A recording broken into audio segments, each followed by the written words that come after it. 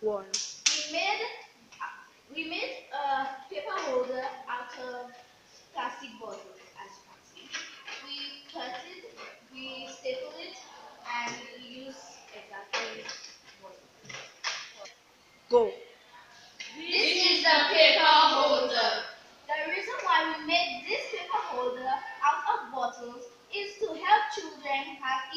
Ways to make them see what they are doing to finish their assignments and work out their projects faster.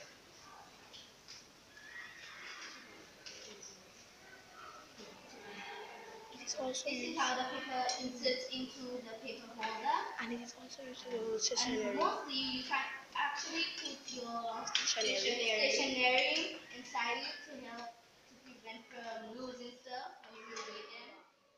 So we are the junior Junior achievers achievers. and we bring you the 2016 DECA challenge.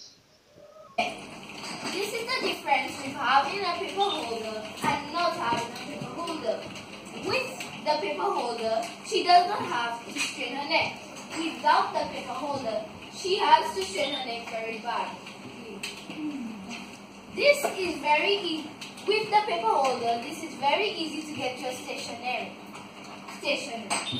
Without the paper holder, it's very hard for her to get her stationery.